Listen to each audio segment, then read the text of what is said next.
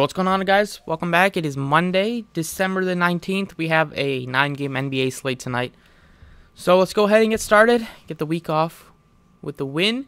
As always, if you enjoy the videos, appreciate the like button, subscribe if you haven't already. We have a good amount of uh, questionable tags on the slate, so we'll probably get a lot of news later in the day. Uh, but for right now, we have the Thunder being shorthanded once again, missing their two best players.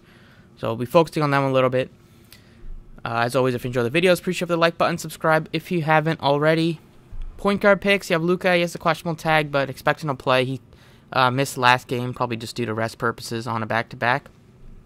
Super expensive, but we have the value in OKC and in the Lakers and probably in some other spots to make it work if you wanted to get up to him.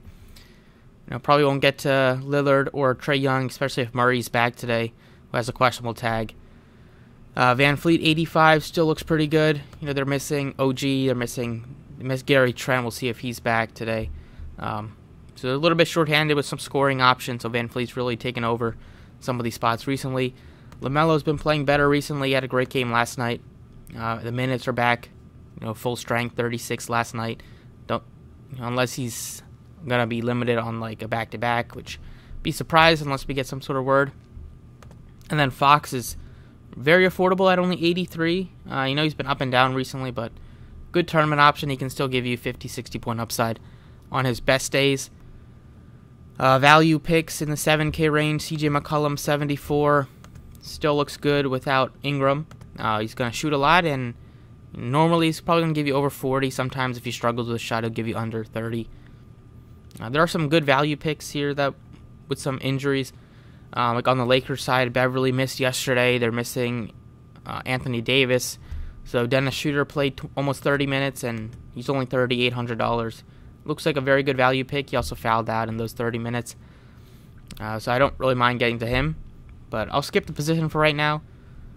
Uh, over at shooting guard, Harden is pay up, but I rather like some of the pay ups at some of these other spots, like small forward or even like point guard instead of shooting guard. Uh, going with the 6K and 7K range options. You know, Vassell looks fine if uh, Keldon Johnson is ruled out. It's currently questionable. Bogdanovich, if still um, they're missing DeJounte Murray. And a lot of guys with a questionable tag here, so we'll keep an eye on that. But one of the better value picks is going to be on the Thunder side. You have Tre Mann at 39. He came off the bench, surprisingly. They started Isaiah Joe in front of him, and probably start Joe again in front of him. He's 4,000. He looks good too.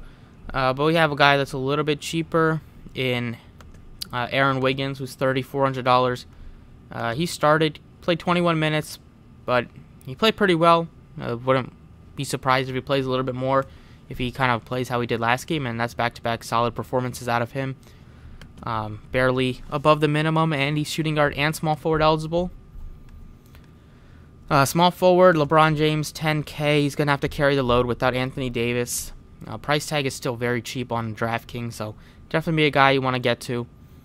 Other options uh, would be in the 6K range and 5K range. You have you know Bogdanovich you talked about. Kyle Anderson still looks decent. Uh, tough game from last night, but Dort looks good. Put him in in the small in the regular forward spot. Without Giddey and SGA, he's gonna get more usage, more shot attempts, can give you some defensive stats as well. And price tag is super affordable at only $5,500. Moving on to power forward. You have Giannis. Can probably get to both LeBron and Giannis if you wanted to today. He's 12 3. Zion makes for a reasonable pivot. Uh, and then you have position kind of drops off a good amount. 5K range of Anderson, Jabari Smith, uh, but still, you have Pokusevski, who's $4,300. He hasn't really had a great game yet. They've been keeping him in like 22 or 24 minutes. I one of these games he left a little bit early. Uh, but they're still going to be without Giddey and SGA, and we know the upside that you know Pokusevski can give you. So I think at this price tag, he's still worth you know hoping for 40 fantasy points. Now, worst case, maybe taking like 23, 24. You're basically still almost getting uh, five to six X anyways. And then at the center position, uh, without Davis, you're going to get good minutes and production from Thomas Bryant, who is 50. Actually, on DraftKings, he's still super cheap. He's like in the 4K range. He's only $4,200. I mean, our DraftKings just doesn't care to raise the price tags on these guys. He's getting you, you know, last night he played 30 minutes, 33 minutes. You know, game before that he played 24 in a blowout. So would have saw more. He can give you a double double. The minutes are there. The price tag is just not there. So he's going to be one of the best plays on the slate. So that's what I got on DraftKings. Still leaves you with almost 75 for the last few spots or over 75. You can fill it out however you want, but I'm sure we'll get some changes throughout the day. But let's go ahead and take a look at FanDuel. All right, on FanDuel, pretty similar. A point guard I went with CJ McCollum was only $7,800. Like the price tag. You have other guys pricey like VanVleet 95, Young is 98. Uh, guys in the 8K range look decent like LaMelo um, at 8,000, but I like McCollum too. Should be a spot where it's at home. Uh, it's going to be a, a, close game, high scoring game. The Bucks like to play at a fast pace, so I think McCollum get you 40s or 50s pretty easily today. And then you got the value picks once again with the Thunder guards that are in the 4K range 42 for Joe and 41 for Tre Mann. Shooting guard, is still like Aaron Wiggins. You know, if he continues to start at the shooting guard position in place of SGA, he's going to get over 20 minutes easily. Should hopefully get over 25 if he's playing well. And they decide to give him the minutes, which why not? He's still a young player. Small forward at Dort, 61. Still great price tag on both sites. You know, he's cheaper than a lot of other guys. He's going to get a lot of minutes today with the usage. Uh, Bogdanovich, another guy to look at if there is no Murray. And then you have some of these Lakers options. Um, probably don't get, want to get to Reaves at 55, but you have Lonnie Walker a little bit cheaper at Jaden McDaniels. Good game last night from him. So you have your fair share of options that are cheap. Power forward LeBron James 11-1. You could get to Giannis here instead for 11-6. Um, but LeBron's still gonna have to, unless he they decide to hold him out on a back-to-back. I think he might have had a. I'm not sure if he had a scary fall last night, but he doesn't have a questionable tag or anything, so hope, should be good to go. But we know the Lakers sometimes will throw a probable tag or throw a questionable tag on these guys throughout the day.